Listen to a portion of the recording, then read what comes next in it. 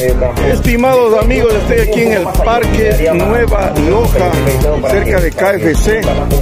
Y qué interesante esto, con mucha gente aquí viendo el fútbol por pantalla gigante, pantalla gigante aquí. En Lago Agrio, amigos. Porque el sábado jugará Emelec a las 3 de la tarde contra Como la gente sale a compartir con un frescor aquí, lógicamente es una ciudad de mucho calor, un calorcito muy rico, pero lo interesante es ver cómo la empresa privada, no lo sé, o el municipio, pues puso aquí una pantalla gigante.